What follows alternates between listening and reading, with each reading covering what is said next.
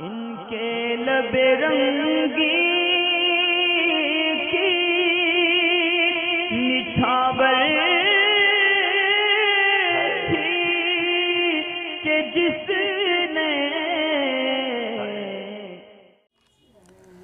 Bank के अंदर काम के बारे में कई सवाल आए हैं कि बैंक के अंदर नौकरी जायज़ है या नाजायज़ है? ठीक इसी तरह गाड़ियों का इंश्योरेंस करवाना चाहिए या नहीं? और बैंक के अंदर फ़िक्स डिपॉजिट रखने के बारे में।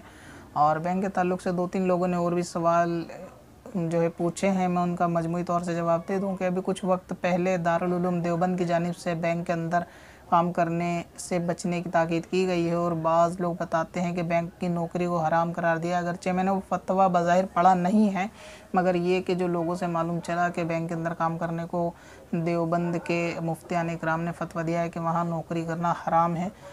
देखें किसी भी सेक्टर के अंदर मुतलकन काम जो है वो हराम नहीं होता। बैंक के अंदर भी कई सारे मामला ऐसे हैं कि उनमें नौकरी जायज़ भी हो सकती है और बैंक की नौकरी वो नाजायज़ भी हो सकती है कि जिस काम ताल्लुक, जिस काम का ताल्लुक बैंक के अंदर सूदी लेन देन से है या उसके लिखत पढ़त से है या उसकी गवाही से है तो वो नौकरी, वो काम या उस मामले की नौकरी सिर्फ़ बैंक में नाजायज़ होगी और वो नौकरी बैंक की भी जायज़ है कि जिसके अंदर लेना देना, सूद का या इससे मुतालिक कोई भी अफ़ाल उसके अंदर नौकरी में शामिल नहीं है। मिसाल के तौर पर अगर कोई शख्स बैंक कर्मचारी है और वो पियोन है, यानी जो गेट वगैरह के ऊपर पहरा देने का काम करते हैं तो चपरासी की ये नौकरी भी बैंक की ही नौकरी कहलाएगी और ये नौकरी बैंक में जायज़ होगी।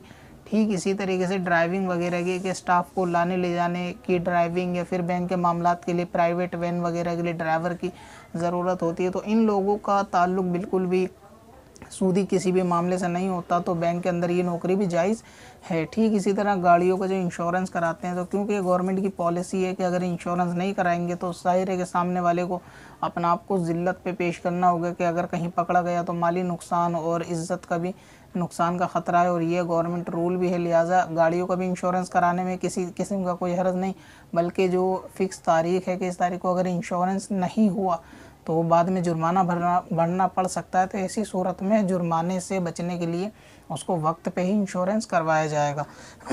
आपका तीसरा भी एक सवाल था कि फ़िक्स डिपॉजिट के बारे में कि अगर फ़िक्स डिपॉजिट बैंक के अंदर रखा जाए तो उसके ऊपर कुछ एक्स्ट्रा जो है वो रकम मिलती है। तो ऐसी सूरत में वो रकम जायज़ होगी या नाजायज़ होगी? तो बैंक के अंदर जो फ़िक्स डिपॉजिट होता है, यानी जो हम रकम बैंक के अंदर फ़िक्स कराते हैं दो चार साल के लिए, उसके अलावा उस पर एक्स्ट्रा रकम बैंक की तरफ़ से दी जाती है। तो अगर ये बैंक काफिरों का है, यानी इसमें किसी मुसलमान की शिरकत नहीं है, इसके पार्टनरशिप में तो ऐसे कुफ़ार के बैंक में अगर पैसा रखने से बिना धोखाधड़ी के अगर ये लोग तुम्हें एक्स्ट्रा पैसा दें या नफ़ा दें तो ये नफ़ा लेना जायज़ होता है। लिहाजा जितने कुफ़ार के बैंक हैं और खसूस हिंद के अंदर तो मुतलकन कहा जा सकता है कि ज़्यादातर बैंक काफिरों के तो इन बैंकों से जो नफ़ा मिलता है, अगरचे इनके नज़दीक वो इंटरेस्ट का नाम या सूद का नाम दे दें, लेकिन इनके सूद कहने से सूद नहीं होता, बल्कि मुसलमान काफिर के दरमियान सूद नहीं होता।